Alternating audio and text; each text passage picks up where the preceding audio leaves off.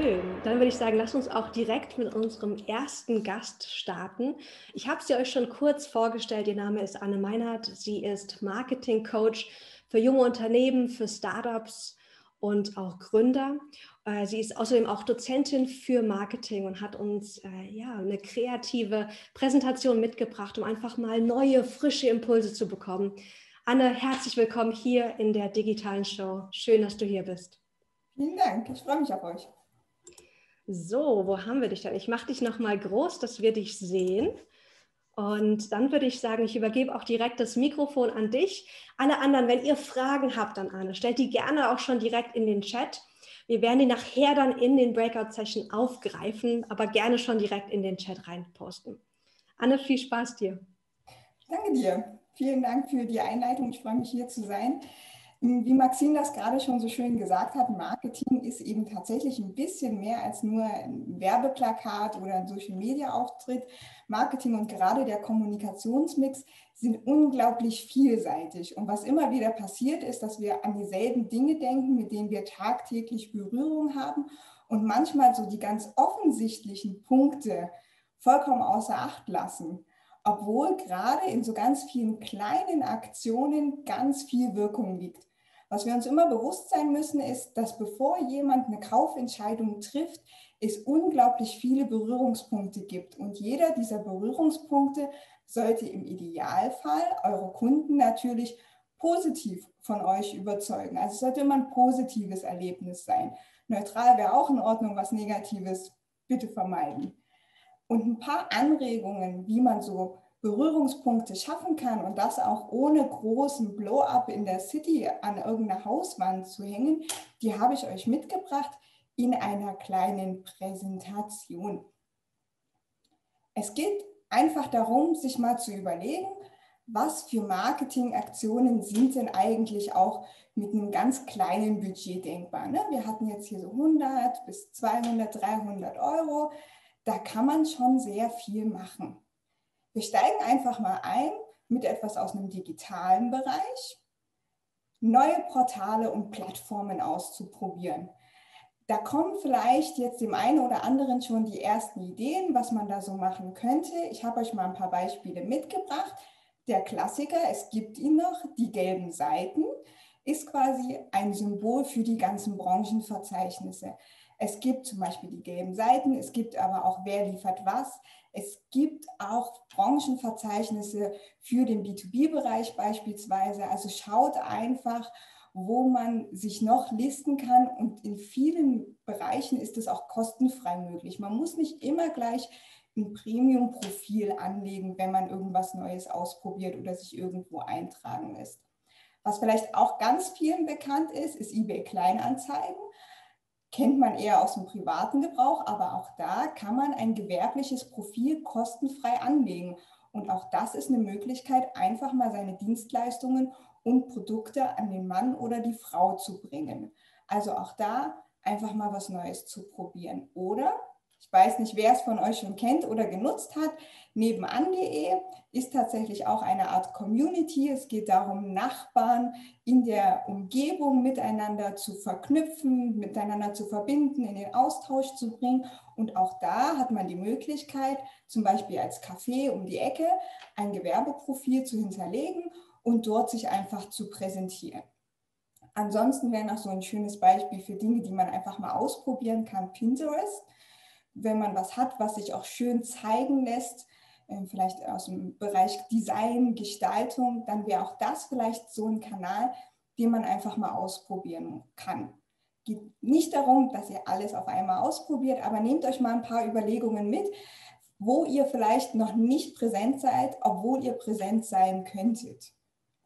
Ein weiterer sehr schöner Punkt, ich habe euch das auch heute an meinem eigenen Beispiel mal mitgebracht, Kleidung und Alltagsgegenstände zu nutzen.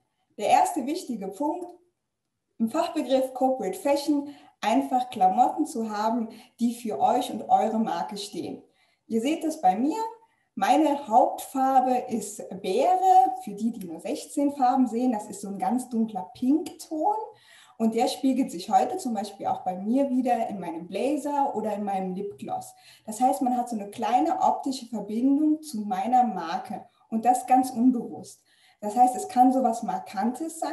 Es kann aber zum Beispiel auch einfach eine Stickerei am, am Blazer sein oder es kann ein Tuch sein oder es gibt Menschen, die haben immer dieselbe Krawatte oder bunte Knöpfe.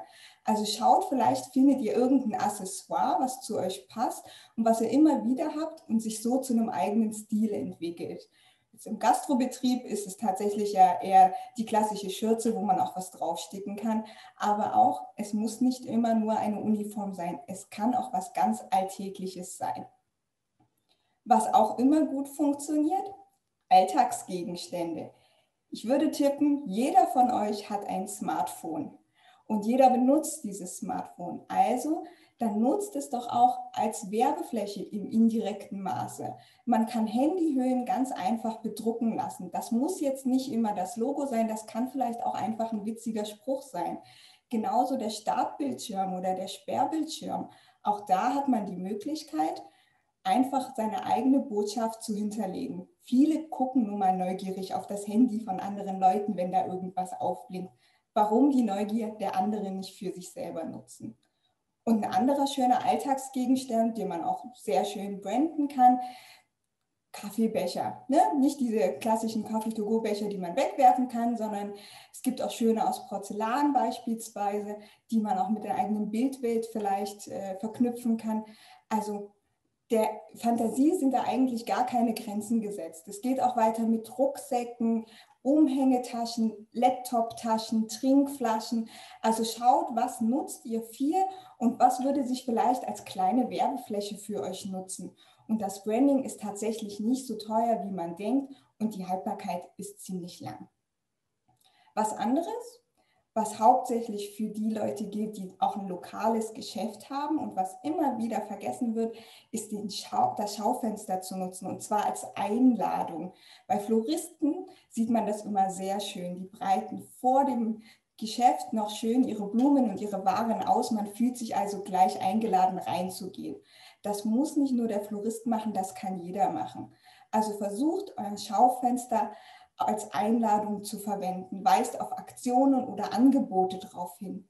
Schaut, dass wenn ihr irgendwelche Aushänge habt, dass die optisch schön gestaltet sind, dass es eine schöne Farbgebung ist, eine schöne Farbe, dass das einfach mehr ist als Comic Sans. Das sind manchmal die Kleinigkeiten, die viel hermachen. Gerade wenn zum Beispiel euer Laden gerade geschlossen hat, empfehle ich nicht einfach nur einen Zettel hinzuhängen, aufgrund der aktuellen Corona-Pandemie geschlossen, ja, das ist eine wichtige Info, aber ladet doch eure potenziellen Kunden auch gleich mit ein. Ihr findet uns währenddessen bei Facebook auf der Homepage. Du kannst deine Bestellung online auslösen. Ich habe einen Lieferservice. Gibt euren Kunden die Möglichkeit, auch mit euch in Kontakt zu treten, wenn sie schon vor eurem Geschäft stehen, auch wenn ihr nicht geöffnet habt. Was dann auch gut funktioniert, sind Schaufensterbeklebungen, die halten auch sehr, sehr lange sind auch äh, nicht so teuer, wie man vielleicht annehmen möchte. Und was vielleicht auch noch ein alter Klassiker ist, ist der gute Flyer, also der Handzettel. Auch da gibt es Flyerboxen oben mit einem Deckel drauf, sodass man da zum Beispiel einen Flyer von den nächsten Veranstaltungen auch vor dem Laden hat, wenn man zum Beispiel in einem Stadtteil sehr aktiv ist und ein Stadtteilbüro hat und auf irgendwas aufmerksam möchte, machen möchte oder ein Beratungsangebot hat, auch das würde sich anbieten, einfach einen Flyer zu machen, den draußen hinzustellen, sodass die Leute was mitnehmen können, selbst wenn ihr gerade nicht geöffnet habt. Dann auch etwas, was sehr unterschätzt wird, unterwegs einfach ein bisschen auffallen.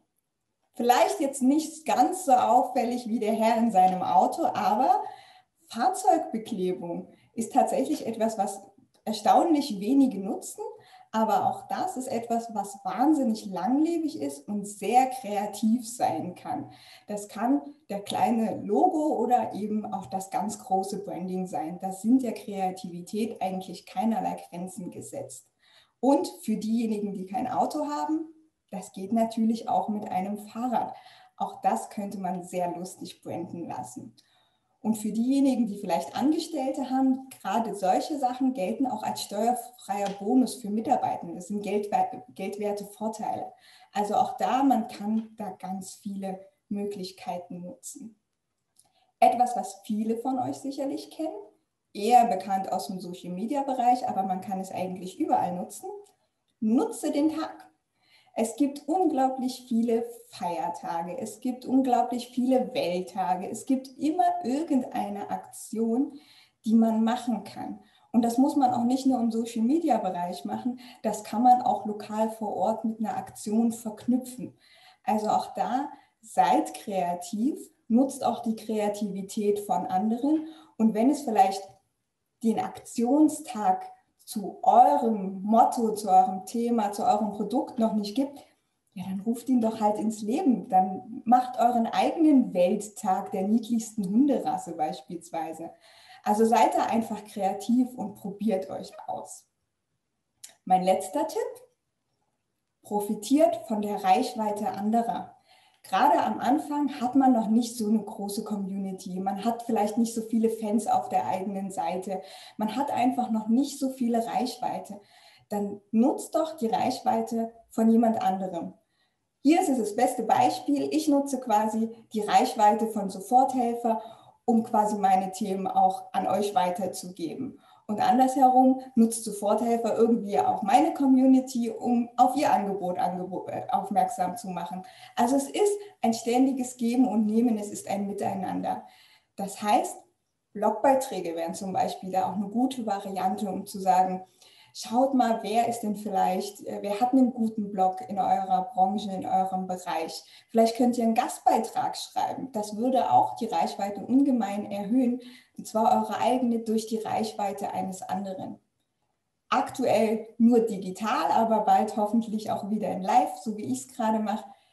Seid Redner, traut euch über eure Themen zu sprechen, platziert eure Botschaften, seid präsent und nutzt das Publikum von anderen Menschen. Und für diejenigen, die sich vielleicht nicht ganz so auf die große Bühne trauen wollen, Podcasts sind nach wie vor unglaublich beliebt und auch da wird immer nach Abwechslung gesucht, nach neuen Inputs und nach neuen Beiträgen. Also nutzt auch da die Reichweite anderer Menschen.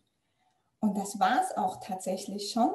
Von daher kann ich nur sagen, nehmt euer Marketing in die eigene Hand und seid mutig und probiert einfach mal eine der Ideen aus oder vielleicht auch die andere und lasst euch überraschen, dass es auch mit wenig Geld viel Wirkung zu erzielen gibt.